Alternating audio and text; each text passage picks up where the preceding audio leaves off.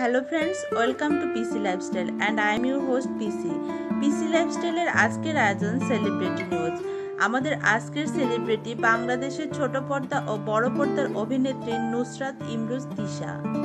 আজকের পর্বে কথা বলব এই সেলিব্রিটির লাইফস্টাইল নিয়ে।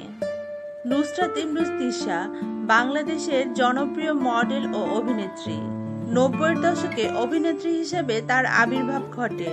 অসাধারণ অভিনয় দক্ষতা গড়ে তুলেছে তার ভিন্ন ব্যক্তিত্ব।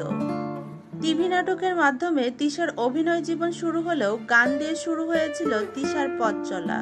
আর খুব অল্প সময়ের মাধ্যমে তিনি সকল শ্রেণির দর্শকের কাছে অত্যন্ত জনপ্রিয় হয়ে ওঠেন।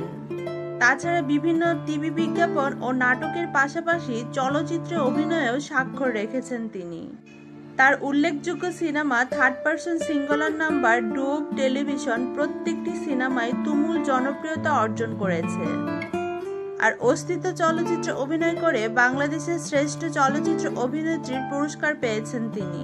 এছাড়া তিনি দশ বার মেরিল প্রথম আলো পুরস্কার অর্জন করেছেন। দুই হাজার দশ সালের ষোলোই জুলাই নাটক ও চলচ্চিত্র নির্মাতা মুস্তফা সরোয়ার ফারুকের সাথে তিনি বিবাহ বন্ধনে আবদ্ধ হন। এক যুগ পেরিয়ে সংসার জীবনের সবচেয়ে মূল্যবান উপহার কথা তিনি সোশ্যাল মিডিয়াতে শেয়ার করেছেন।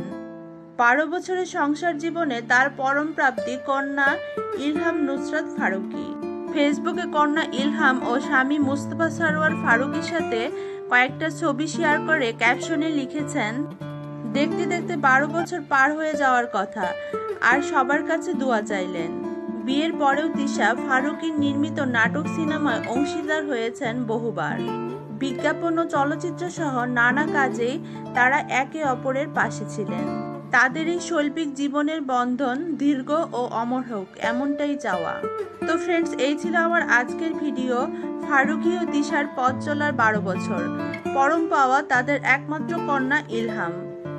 পরবর্তী ভিডিওতে দেখা হবে নতুন কোনো সেলিব্রিটির সাথে। কথা হবে তার চলমান লাইফস্টাইল নিয়ে। সেই ভিডিও দেখার আমন্ত্রণ জানিয়ে আজকে সবার কাছ থেকে বিদায় নিচ্ছি। সবাই বরাবরের মতো সুস্থ থাকবেন, সুন্দর থাকবেন। Bye bye.